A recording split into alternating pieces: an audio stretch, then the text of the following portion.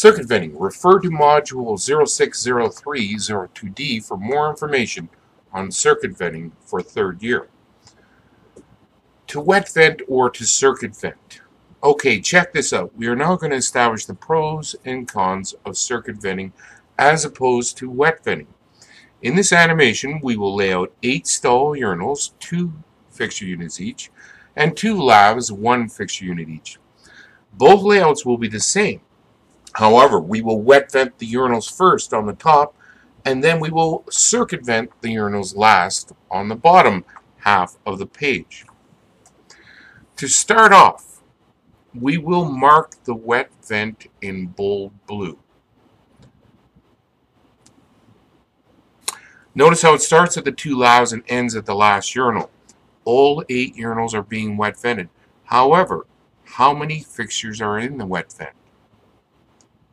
Yes, only seven urinals and two lavs are affecting the size of the wet vent, as the last urinal is draining downstream of the wet vent into the branch.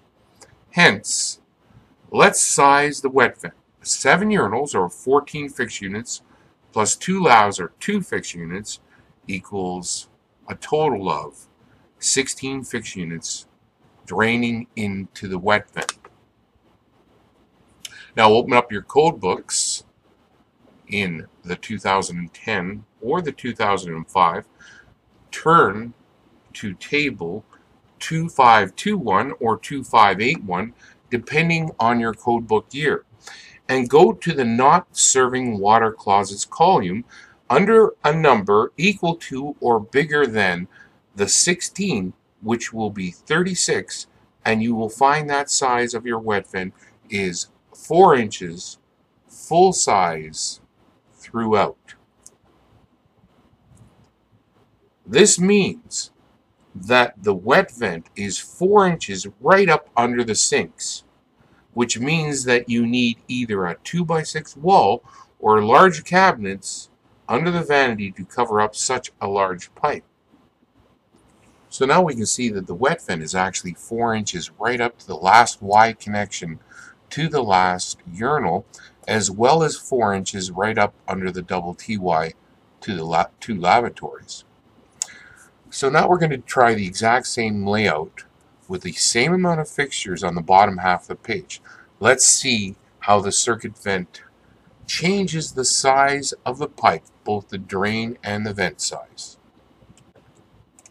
We will now attempt to circuit vent the same layout of fixtures. So let's begin on the bottom and let's illustrate where the actual circuit vent. Here is the circuit vent. It goes down to the lowest soil or waste pipe or the horizontal soil or waste pipe connection and continues up either to the vent stack stack vent header or outside air. That is the red part. The red is the wet portion of the circuit vent. That is the solid line. The dotted line is the dry portion of the circuit vent. Now let's continue on with the dark blue pipe, which is now our circuit vented branch. The circuit vented branch goes right up until the relief vent, which is the green dash pipe, downstream of the most downstream circuit vented branch fixture. So now we want to figure out the sizes for this circuit vent. So in order to figure out the circuit vented branch we need to turn to the branch table 24106B in your code books, which should also be labeled as the circuit vented branch table as well as the branch table. So, how many fixture units are dumping into the dark blue pipe or the circuit vented branch? Well, every fixture unit this time is dumping into it for a total of 18 fixture units. Hence, the size of the circuit vented branch will be 3 inches on the last cleanout, which is serving downstream of the most downstream urinal. Notice now how we have three cleanouts on this drawing as opposed to the one cleanout on the upper wet vented drawing.